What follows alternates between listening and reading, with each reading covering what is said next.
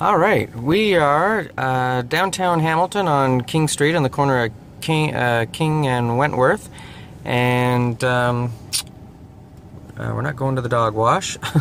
we are going to the Wash Me uh, car wash, and um, from my understanding, I haven't been to this one before, but it's supposed to be a real old school uh, type of car wash. Been here a very long time and is well known in the in the city, so um, I'm excited to uh, try it out.